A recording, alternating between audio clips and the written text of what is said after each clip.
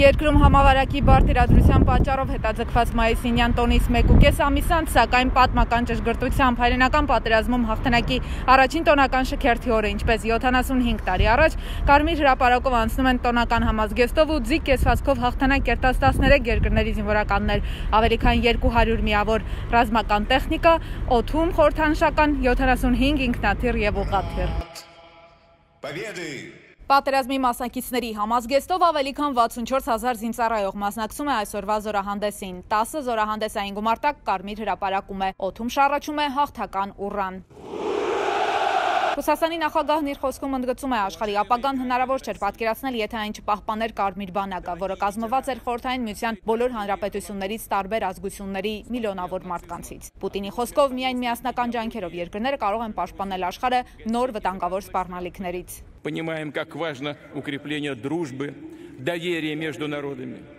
Հասկանում ենք, թե որքան կարևոր է ժողովուրդների միջև վստահության, բարեկամության ամրապնդումը եւ բաց ենք երկխոսության, գործակցության, նաեւ միջազգային օրակարգի առավել արդիական հարցերի քննարկման համար։ Դրանց թվում է անվտանգության ընդհանուր եւ հուսալի համակարգի ստեղծումը, ինչի կարիքն ունի բարդ, արագ փոփոխվող ժամանակակից աշխարհը։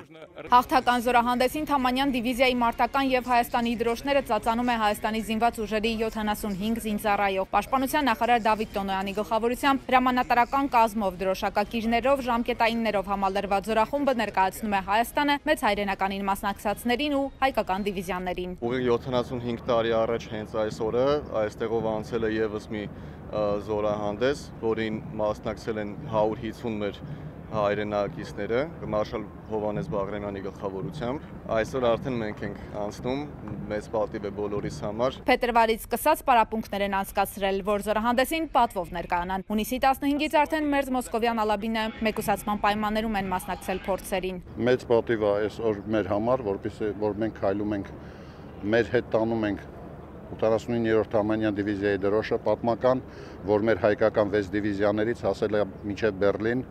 հաղթանակի օրը նշել են Թամանյան դիվիզիայի զինվորները Բերլինում։ Առաջինն անցնում է հայրենականի լեգենդը. T34-ը, որն ինչպես միշտ գլխավորում է տեխնիկայի շարասյունը։ Այնուհետև հերթեսու 100 հակատանկային ինքնագնաց հրետանային կայանքներինն է։ Առաջին անգամ զորահանդեսին մասնակցում է մարտական տեխնիկայի 20 նոր նմուշ՝ T90M եւ T80 BVM տանկեր, հետևակի մարտական մեքենաներ, Tornado S համազարգային կրակի ռեակտիվ համակարգ, աշխարհում հոպի հզորագույն համալիրներից մեկը։ Մոսկվայի երկնքում են նաև ուղաթիռներ, ավիահամալիրներ, ռմբակոծիչներ ու կործանիչներ։ Բացի վետերաններից ներկա են նաև Մոսկվա ժամանած օտարերկրավ պատվիրակությունները։ Բոլոր ներկաները նախապես վիրուսի թեստ են հանձնել։ Շքերթի օտարերկրացի հյուրերին ստուգել են օթանավականներում եւ հյուրանոցներում։ Զորահանդեսի բոլոր մասնակիցները մեկուսացված են եղել։ Մոսկվայից բացի 75-ամյակի զորահանդեսներ անցկացվեցին Ռուսաստանի 28 քաղաքում, որոնց թվում էին իհարկե նաև հերոս քաղաքները։ Մերի Եգորյան Արտակ Ղևոնդյան լուրեր Մոսկվա